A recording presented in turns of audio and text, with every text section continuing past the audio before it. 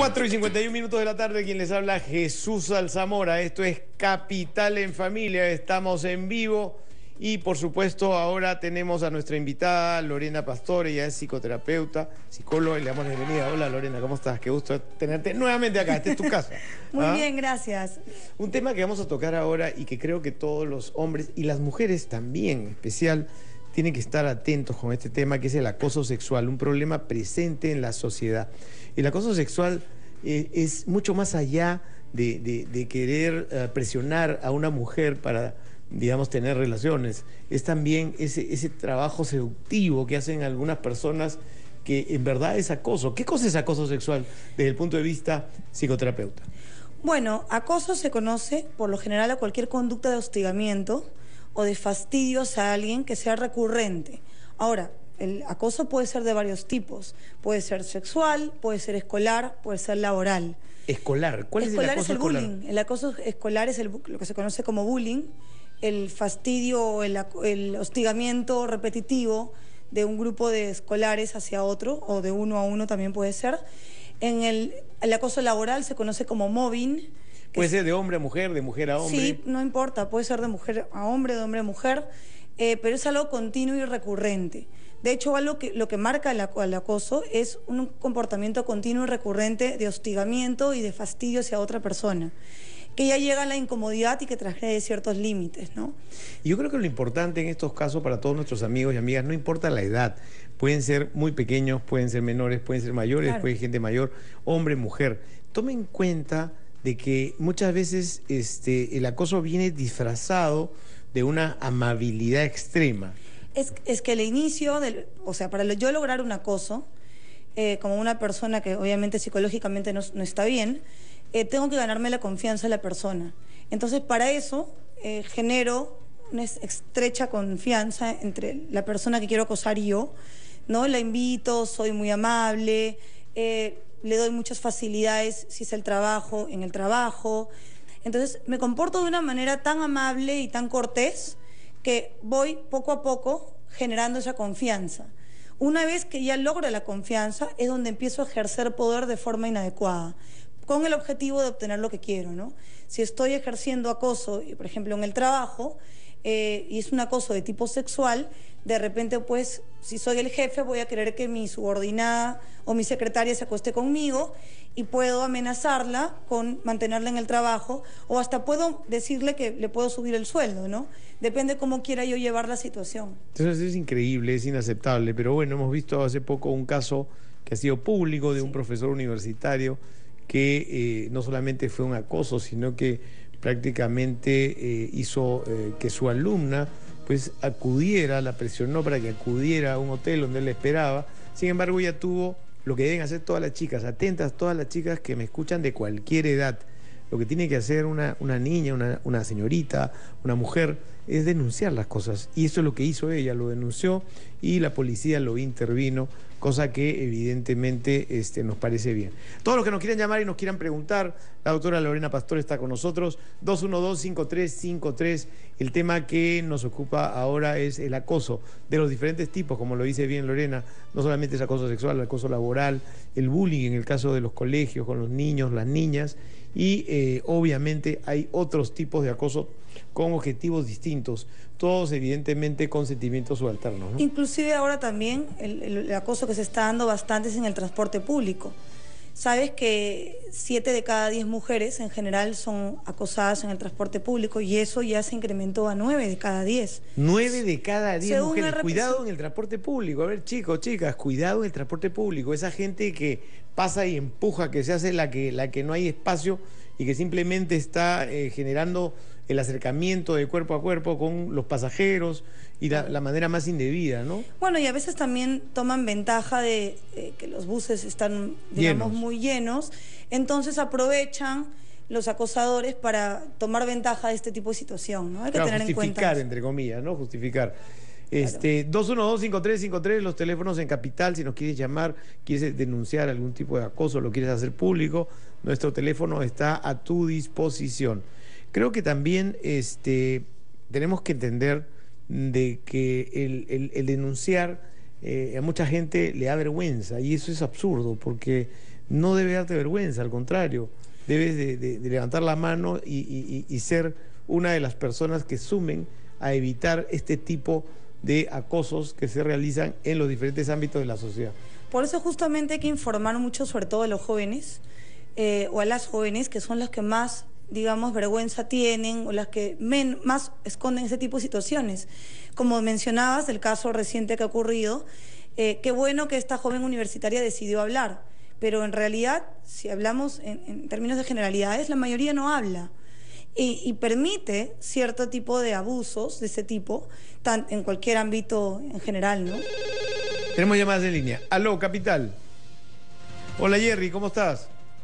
¿Qué tal? Buenas, buenas tardes. Te escuchamos, Jerry. Gracias por tu programa y bueno, eh, quiero eh, me, parece correcto que se invita a una, a una persona que es experta en lo que es acoso sexual. Correcto. ¿Cuál es tu comentario? Sí, sí mi comentario es que este, de que muchas veces, por ejemplo, yo estoy en contra del acoso sexual, ¿no? Me parece algo inaudito que un hombre pueda no acosar a una mujer y que se pueda no aprovechar, ¿no?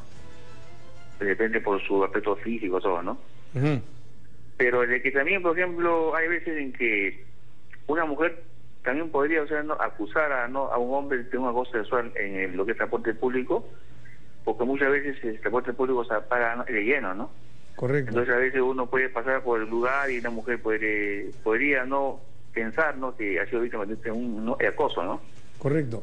Eso también hay que tener en cuenta, eso, ¿no? Tener cuidado con eso, perfecto.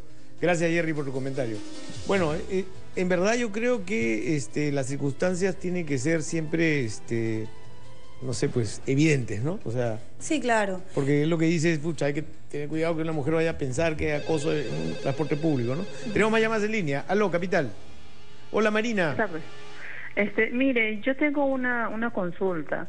Este, yo soy maestra, sea contratada de una institución educativa y una de las estudiantes este, me pasó la forma como la profesora las condiciona. Entonces yo la verdad me siento un poco este, comprometida porque yo no, o sea, ellas son chicas, o sea, son jóvenes este, de, de un CEPRO ¿no? Eh, ellas no quieren, una de ellas, bueno, me ha pasado el audio y, y es la forma como la maestra, o sea, la, eh, utiliza la psicología como ella es autoridad en aula, de que ellas colaboren, incluso ha hecho actividades dentro del aula y ellas no, o sea, se sienten, como dijo la señorita en la primera parte, dijo que se gana su confianza y luego después las maneja y las condiciona de tal forma que luego las hace sentir culpables y incluso las chicas salen a llorar incluso hasta a veces al patio. Pero ¿por qué? ¿De, qué, quiere de, qué manera? participar, o sea, ayudarlas, pero como que son cierto hermetismo y ella dice este, somos un grupo, los problemas se la, o sea, los problemas se solucionan dentro y no, o sea, no. Pero cuál es la, cuál es la forma que las acosa, de qué manera, o, sea, las acosa para que. O sea, primero las condiciona en cuestiones, o sea, que hay que colaborar, ¿no? Y, y el objetivo cuál es, el acoso tiene que llevar este, ¿El objetivo? Eh, el objetivo, bueno, yo veo manipulación psicológica en este sentido. Ah, ok. No, porque, por ejemplo, las chicas eh, dan cuotas, dan cuotas para poder, o sea, hacer, digamos, ciertas actividades, ciertas cosas. Claro. Y ellas, o sea, este, y que al final no le va a dar su certificado de estudios si que no, o mm. sea, no llegan a cierta meta, ¿no? Muy bien. Muchas gracias por el testimonio. Tenemos una llamada más y hacemos los comentarios ya. del... Aló, capital. Luis, ¿cómo estás? ¿Qué tal? Este, sí, yo también quería hablar un poquito sobre el acoso. Yo soy estudiante de la Universidad de San Marcos y he visto cómo las mujeres las acosan inclusivamente en la universidad, ¿no? O sea, a pesar de, supuestamente, ¿no? afuera, ¿no? Donde está todo, donde están las calles, donde están todos los problemas, se, se sufre el acoso sexual todos los días de parte, no sé, los microbuseros, de los cobradores. ¿Cuál es tu opinión sobre eso? ¿Cómo? ¿Cuál es tu opinión sobre eso que tú ves todos los días? Yo estoy, yo estoy en contra porque se expresa cómo, cómo se produce, cómo está, cómo está la sociedad, ¿no? Cómo está en decadencia.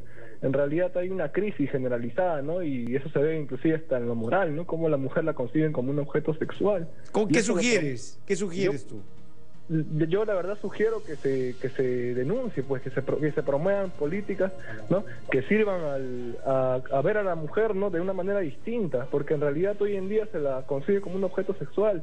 Y el mismo estado y el mismo sistema eh, capitalista promueve eso no yo yo me opongo la verdad. Correcto muchas gracias por tu testimonio. Dos llamadas dos comentarios.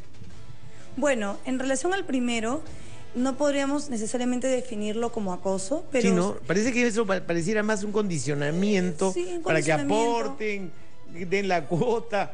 Eh, está igual de alguna manera manipulando y, y Mm. maltratando, es una forma de maltrato de hecho a los alumnos y definitivamente si alguna alumna lo logra grabar, como ya lo ha dicho ella, ¿no?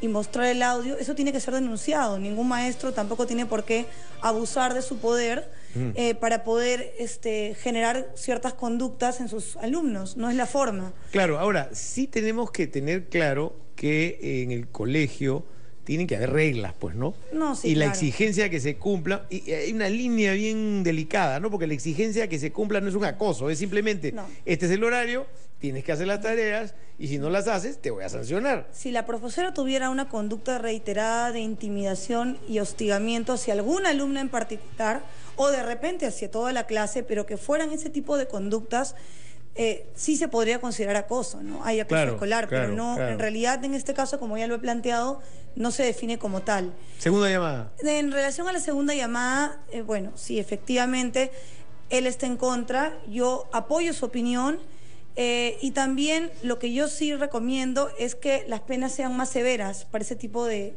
de situaciones, ¿no? Porque eso es un delito.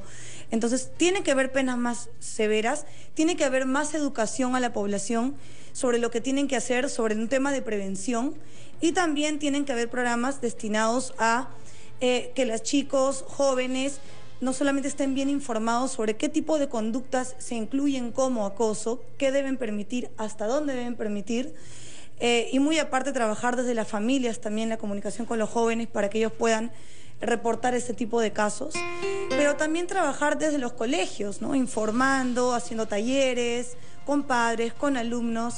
Generalmente es en prevención y este, también en capacitación, ¿no? Creo que son aspectos fundamentales los que tú te refieres y definitivamente la prevención es fundamental para que estas situaciones eh, eh, que denominamos acoso, porque en verdad es una vergüenza, ¿no? O sea, tener que ver y evidenciar acoso sexual en los diferentes ámbitos de la vida Sí. de la sociedad. Lorena Pastor, la gente que te quiere ubicar, ¿dónde te llama? ¿Dónde te ubica? Bueno, pueden este, llamarme al 226-3867 en el centro Psicotrec o pueden ubicarme en mi página web www.lorenapastor.com. Correcto, esto es importante para todos aquellos. Se nos ha quedado un montón de llamadas, el tiempo voló, pero sin embargo, gracias por estar siempre con nosotros en Capital en Familia. Lorena, ya formas parte de la familia. Gracias.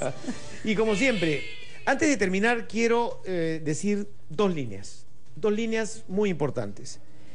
Quiero expresar el mayor reconocimiento y agradecimiento a una persona que dejó de laborar con nosotros.